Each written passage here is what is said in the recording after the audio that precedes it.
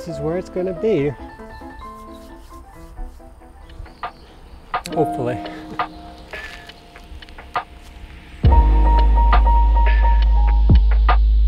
本当にこう日本って自然が美しい緑が美しい国なんですねでそこにあの、まあ、多くの家が建ってるんですけどあの新しい家ってその土地の良さを無視した家があの多く建ってますで我々はちょっとそういう家づくりはしたくないなっていうことでその我々の家がその大分の風景になるよっていうふうに考えてるんですね There's actually a name of the house. There is? Yeah, so Kono-san, the architect that you named or that you met earlier, he names each of the houses that he designed. あの自然を感じる緑を感じられるような家を作りたいと思って家には必ずタイトルを付けさせていただくんですが今回は四季の家というふうにタイトルを付けさせていただきましたで日本っていうのはやっぱり紅葉があったりとかあのそういう季節による緑の違いっていうのを楽しめるような家を作ろうと思った時に周りの視線を気にせずに緑を楽しむために、えっと、真ん中に、あのー広い中庭を取ってでそこの周りをぐるぐると歩けるようなプランというのを作らせていただきました Basically, the major highlight of the house is the garden in the middle of the house. So, the architect, one of the things about the land here is that there's houses on basically all sides of us. And because of that, we can't get really views going outside of the house. There's not a lot of nature outside of the house. So we decided to take the opposite approach and put the nature inside the house. This is like a dream come true. Like, it almost didn't feel right that I was given the privilege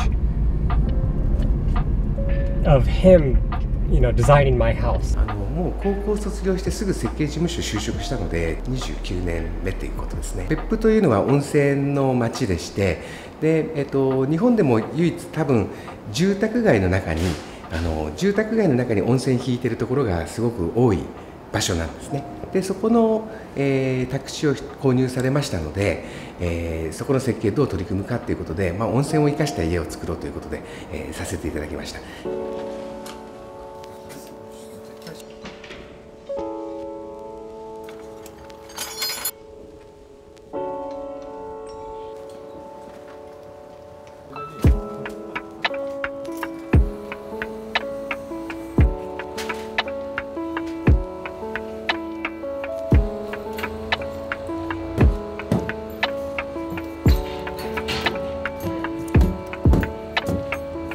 As you can see from the holes in these wood pillars down here, they don't use too many nails and screws for building again kind of the uh, the skeleton of the house the i would say the yeah the skeleton the, the structure. Kind of like the architectural techniques that they use in traditional well building temples in japan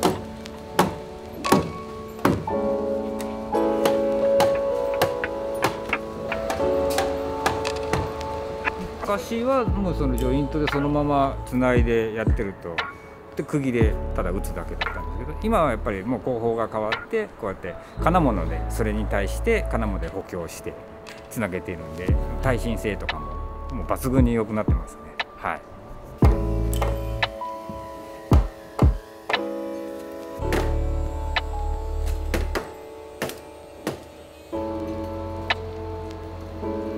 30年ぐらいはこの仕事をやってるんですけど、まあ、今までで見た中で結構こう斬新っていうか、まあ、あの建物の形といい、まあ、中の仕様といい結構面白いあのやり方をやってるんで、まあ、結構興味があって楽しいですねやっててそこが一番やっぱりあの思うところです。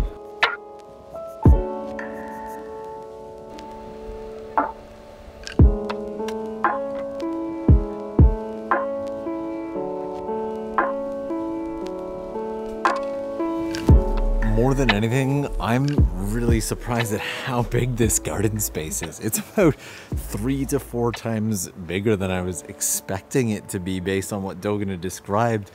I cannot wait to see how this turns out. This is massive. That's going to be a beautiful, beautiful garden. the house kind of actually looks best at night from what I'm told. I've never seen the house at night though, so this is kind of a, a big moment for me because I have been to the model house at night, and that is certainly better looking at night, just the way that the, the light works. So I'm I'm really excited right now to go in and see what it actually looks like. Really excited. One of the architect's kind of guiding philosophies is that he likes to make houses that make people feel sleepy. So there are essentially no overhead lights in the ceiling or in the house. And where there is lighting, it's usually no higher than, than eye level and it's always using these warmer lights. I'm really, really lucky to have a kind of a courtyard inside the house and the house is kind of built around this. And this is designed the way that it is with this low window such that you kind of notice it when you look in and you're like whoa what's that? But only a little bit and we'll kind of get to see this later but it's only a hint rather again rather than the the full picture immediately. So this entire kind of wing of the house, this is kind of like the uh, the night space. This is where my bedroom and my wife's bedroom, as well as the kids' bedroom is. And leading down this hallway is this big long desk, which is kind of lined with this bookshelf here and then up here as well. Going back to lighting, the uh, another thing that this architect loves loves to do is to use what's called indirect lighting. It makes it more difficult to look directly at the light source while still providing ample lighting for studying. But if you look across the way right there, that's where the kitchen is. And my wife and I will be able to check on the kids, you know, like when they're studying or call them from dinner for, for dinner or whatever it might be across across the courtyard like that. And it's um it's a really cool kind of feature. The, the guy, the architect, another thing that he really strives for is to not create houses in which it's easy to get away from the other family members. He said that it's common for teens to have, a, of course, that rebellious phase, and if you give them um, a really kind of easy way out to escape from the, you know, the other members of the house, they often do and avoid and avoid people. But in putting the desk here, they they can't really run away unless they want to like study on the floor. Although I do that sometimes, so I guess that that is an option. And then over here, this is going to be the master bedroom, which is funny because it's it's smaller than the kids' bedroom. But uh, this is it. Having a house in Japan, again, it gets extremely hot during the summer here, and you absolutely need air conditioners.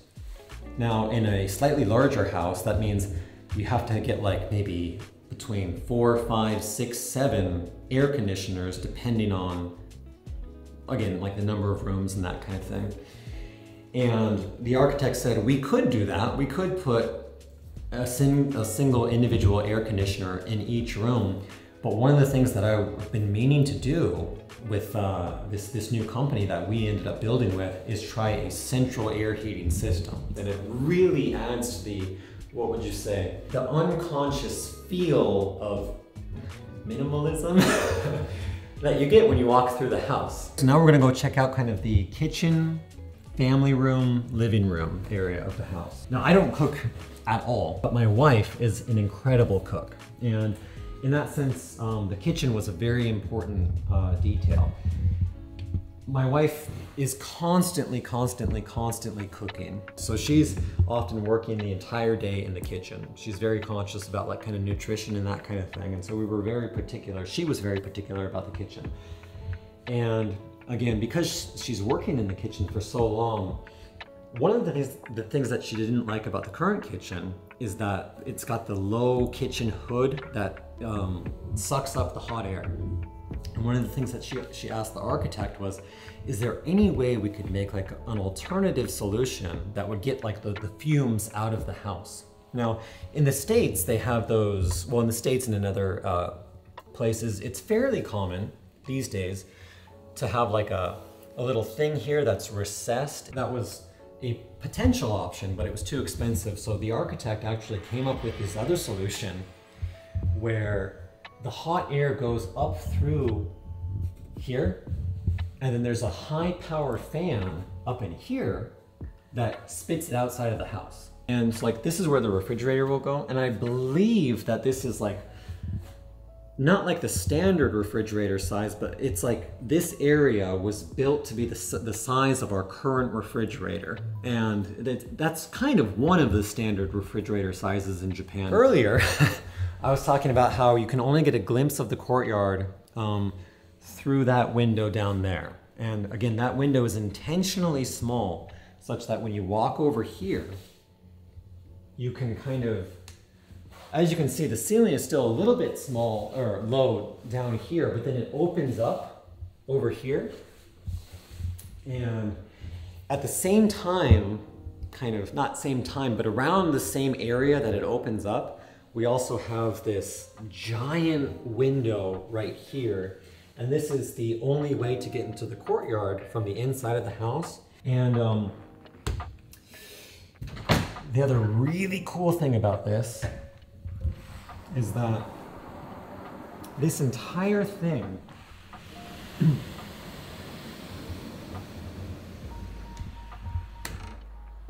goes into this wall here. It's all behind this like single uh, part of the wall here, but now we've got this big open area right here. And This looks amazing at night. yeah, What? oh.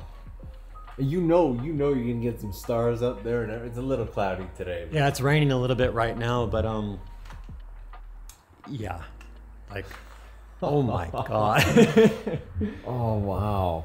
and yeah i mean i how and this what what this is this isn't a, a, a proper engawa because what an engawa is in japan it's like a lot of japanese houses have like these long kind of what thing something that looks like this and what this is meant for is that it, it gives a way for a person that owns the house to interact with a guest without um, the guest actually coming into the house. So by having a fair amount of surface area that's kind of like in between the inside and outside of the house that's still you know covered underneath the roof, you can like you know have like a, a cup of tea with someone.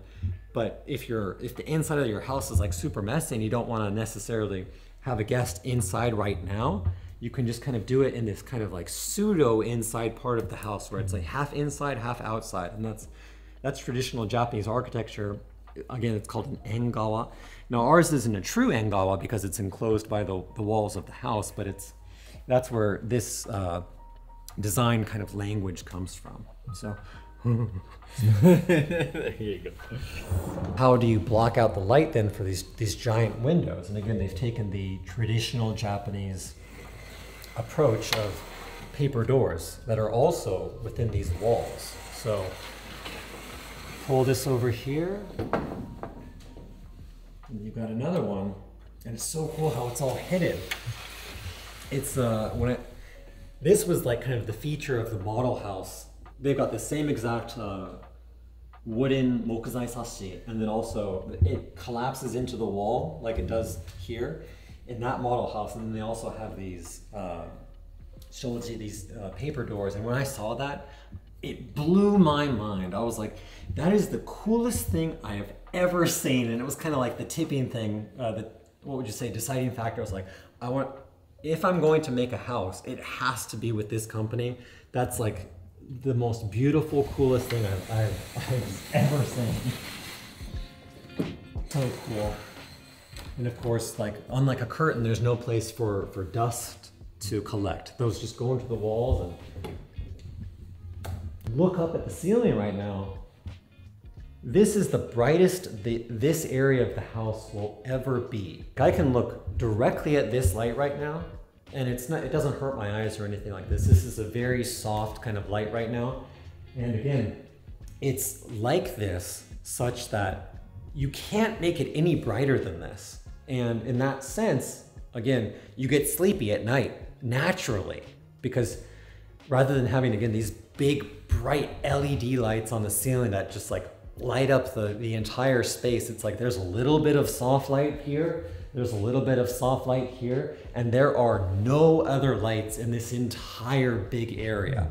All the other light that comes in is from the sun. As a result of that, this is a very bright area during the day, but a very dim area at night. And again, it makes you sleep. I'm sleepy right now, just like standing here.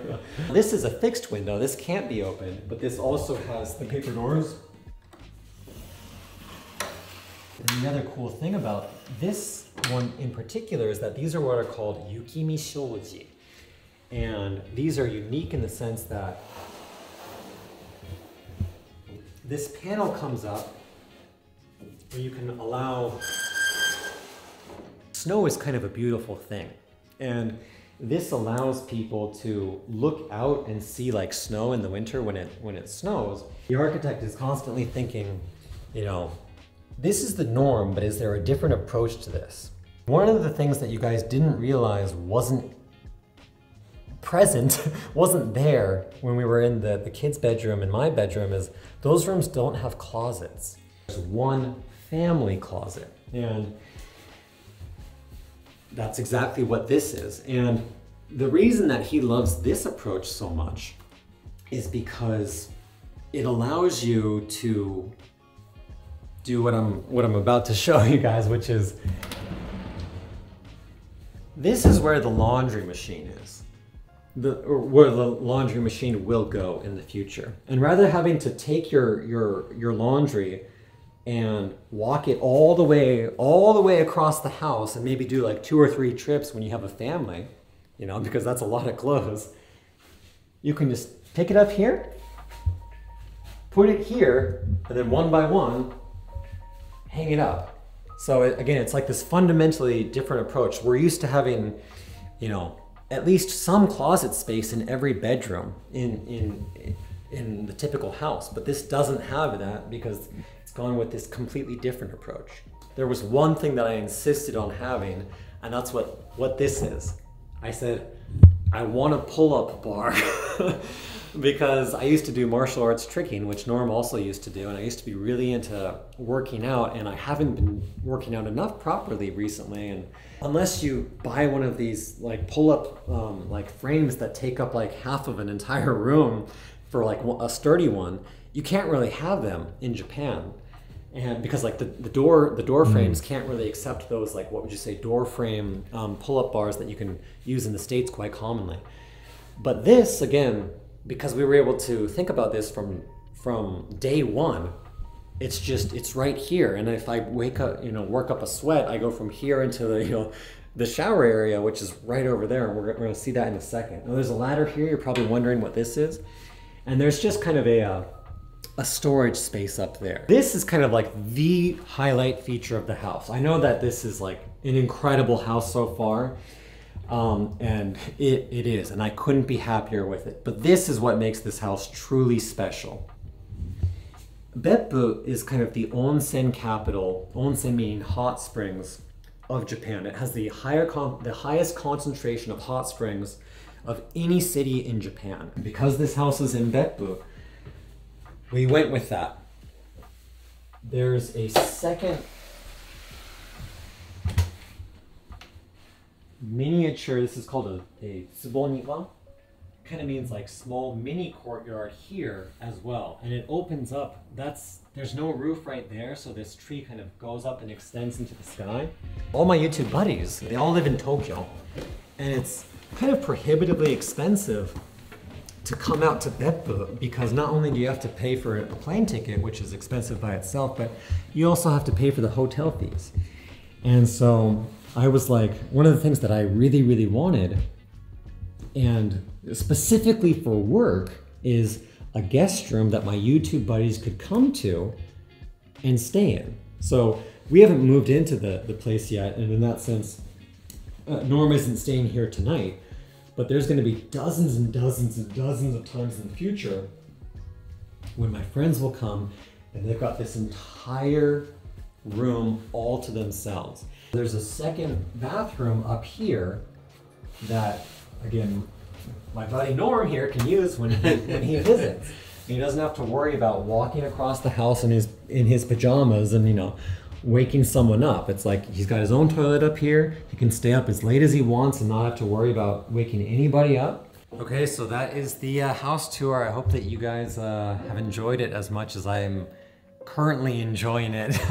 I mean, again, it's, it's a dream come true, and thank you, Norm, for coming out and helping me like document this whole process and making a, an incredible memory out of this whole experience. In addition to the house itself. it's so so worth it. We've been working on like documenting this for what over half a year now. More than half a year. Yeah, yeah. It's it's been a long, long, long time.